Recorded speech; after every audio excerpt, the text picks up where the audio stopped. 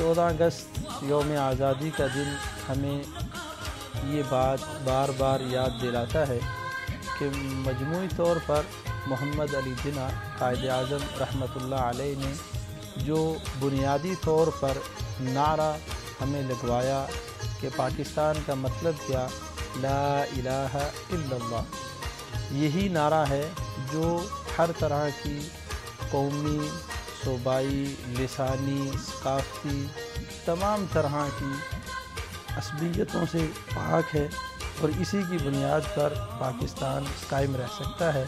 और हमें इसी को जो है वो अपने सामने रखना चाहिए।